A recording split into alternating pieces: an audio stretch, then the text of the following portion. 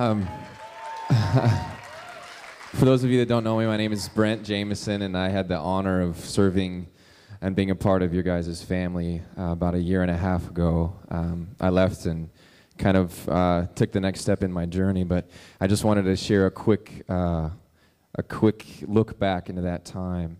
And I remember when I first came down, Pastor Eddie had me come for a weekend, and I ended up staying for a year. And uh, I remember the, I think the first day I was here, he said, I want to pick you up at 7 a.m. We're going to work all day. And I said, Yes, sir. And, and uh, I remember just working alongside him all that day. And that day for me was the beginning of my introduction into Pastor Eddie. Um, and the, the example that he's been to me since then has been absolutely incredible. Um, one, one of the things I loved about him is that he made me wear a suit to the office every day. And it was a bathing suit, it was a swimsuit. but he allowed me to do that because I was a, a Seattle boy, and I, I probably I, I, the office was in my bedroom, I think, at the time in your house, so didn't have to get up and go very far, which was nice.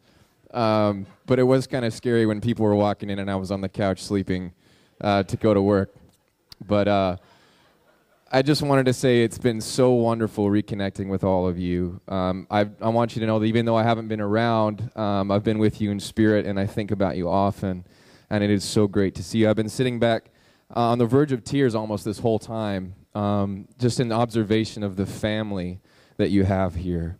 And I come from a generation of disappearing fathers and of, and of broken families even in my family, uh, fathers seem to disappear and families seem to break apart. And something that I'm so thankful for is that God gives us an example of a healthy family. No matter where we've come from in our bloodlines, He shows us how families can and should be. And He shows us how men can and should be. And when I think of a man, I think of Pastor Eddie Windsor.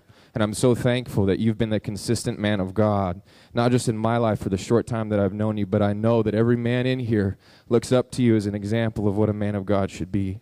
And I want you to know that you're not only leaving a legacy through your own son's life, but you're leaving a legacy through all of the men that are here and that know you.